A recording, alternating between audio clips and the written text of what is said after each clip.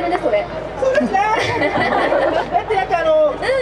CD 忘れたらなかなかし流れなかったのしな。あそうだ私もなんかじゃらららじゃああれあれちょっとあれがないとちょっといまいちあのテンション上がんないんだしな。あ さらーっと出てきてくれたけど別にアカペラで歌ってもいいんだよ。本当だしうん。梨のままで姿見せるのよこんな曲だったかなママの自分になるわやめよう以上アナと梨の女王でしたまさかの振りでしたけど、まあ、ここで本当にあのテレビ局のカメラ入ってたらもしたらカットされちゃうかもああ完全に勝ったのしなどうでしょうかね。ということでね、ふなっしー、今日はご当地キャライベントということですから、うんこれから出てくれるキャラクターもご当地の PR をしてくれるわけですが、あ、そうですよ。船橋の梨って書いて、船橋っていう梨。外梨。そこから、ねまあ、原点は大事ですから、ふなっしーがそこからついたということで、じゃあ、千葉県船橋市っていうのは、まずふなっしーの印象としてどういうとこなんでしょう？あ、結構ね、船橋市って都会なし？人口がね、63万人ぐらいいるんだしな。すごいよね。ちょっとサバ読んだらし、62万人ぐらいだったらし。なんでサバよ それ48歳ごめんなさい47歳ですよと同じぐらいですよね。ねえそうだし、でもね、なんかあの、ちょっとね。はいあの車走らせると緑がいっぱいで、うんそこには広大な梨が、わーってもうアリゾナ州みたいに広がってるんですよ。急になんかパスポート必要になっちゃいましたけど。そうらしい広大な地平線くらいの。嘘嘘だし嘘ついたらしない今な。ちょっと持ってみたらし持っちゃったね。持っちゃったらしはい。でもねそれが逆にニュースになってて船橋市の人口よりもふなっしーのツイッターのフォロワー数が超えたなんてみんなありがとうなしないつも読んでるらしよねえすごいねそれだけふなっしーのためにも集まってくださった人いっぱいいるんだよ。こんな暑い中皆さん本当ありがとうございました。なんか先々週にうん。船橋市場でもイベントやってるあの時も暑かったらしな暑かったね本当に皆さんあの、うん暑い中で暴れたりとか、うん熱中症とか本当水分の補給とか気をつけてくれるらしいそうですなねえ愛知もさっきからみんなに帽子かぶってくださいって言って私これしか帽子ないからさ。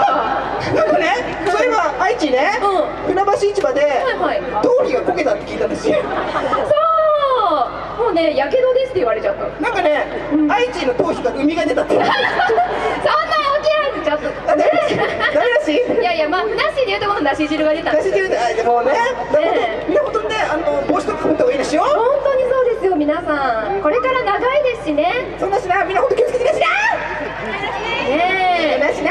はいあそういえば多分ねお客さんもいると思うんですけどふなっしーのソースラーメン食べたよ。あ、本当だし。うん。ありがとうございます。あい。っぱいありがとうございまね多分ね墨田区のスーパーとかにも売ってるとこいっぱいあると思いますけど。ねまさか散々ね、ソースラーメン戦にしたらカップラーメンになると思わなかったんですな。え。だってすごい最初さソースラーメンが有名なしって言ってる割にどんな味するのか実は食べたことないな。そうだそうだ。し言ってよかった。そうさ最初のね、1年半ぐらい食べたことなかったです。PR してるのにそう言って言うし初めて食べたのが、はい。あの船のミックスっていう DVD 出した時に、はいはい。ラーメン後ろから突っ込まれてイリイリュージョンして食べたらしいあでもそれ結構早い段階でのイリュージョンじゃないの？今でこそ主流になってるけど。多分あのファーストイリュージョンくらいのレベルだしな。ファーストイリュージョンは船橋のソースラーメンだったって。でもなんかいいストーリーですね。なんか曲ができそうだしな。ファーストイリュージョンは船橋のソースラーメンっていうタイトルでセカンドシングルいくらしいなんだろうちょっとなんか甘酸っぱい感じのタイトルだねそうですね。ねえじゃあリリースされないかもしれないですけど楽しみにしておいてください。はい。ふなっしーこれからなんかイベントの予定ってあったりするのかな？えっとねとりあえず直近だと直近ね。あれしな来月船橋西武さんでまたイベントやるんだしなおお船橋西部それしあとその後えっとあげお前だしなごめんあげたらしなあねフラッシュよりねスケジュール把握してるらしいまあ忙しいからね。うん。昨日もテレビ出てたじゃない？あ本当ですよペケポンペケポン。ずっとねね、うん。ペケポンの、あのー何？収録収録取りに行くときに、うん。ガードマンさんに、あのポコパンの収録で呼ばれたふなっしーですって言う全然全然違うことなんですでもガードマンさんそう組んでくれるんだしなペケポンですよねってあー優しいそうなんだポコパンの収録でゲームになっちゃいますよねはいまあそれでねクイズとかも挑戦して気づいてた可愛い子がねいっぱい見てますけど。はい。これからテレビとかもでも多忙だもんね。ございません。私の身に余る声だと思うな。し ねでもこれからほら梨のシーズンでしょ？あそらし。これからねそう78区ってもう梨がいっぱい出てくるんだしな。ねえ梨のシーズンですか？らふなっしーの兄弟もまた生まれるかもしれないですけど。あもちろんだし。ん。174体いるからそろそろねあの脱皮したり分裂したりするんだしな どうだろうゼロ一つぐらい増える予定あるのかな？あそれ楽しいかもしれないしな 船橋市行ったらあの普通にコンビニに行って、あのレジ並んでたらふなっしーが後ろにこうカレーパン持って並んでるみたいな。なるほど。かカレーパンなんだ。